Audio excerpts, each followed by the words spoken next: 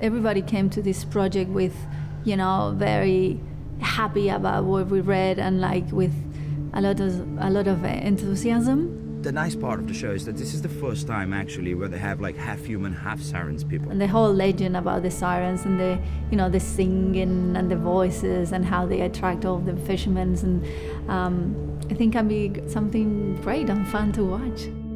They're not sirens, they're not humans, so you have this freedom of playing with that. And it's really cool, it adds a lot to the story, being able to breathe underwater and control water. So imagine how many possibilities can come from that. There's the Tidelanders, there's the fishing folk of Orphelin Bay, and then there's the ocean itself. Those two communities are so separated and only linked through their relationship to the water. Humans versus the Tidelanders. And they don't get along because they're so scared of each other.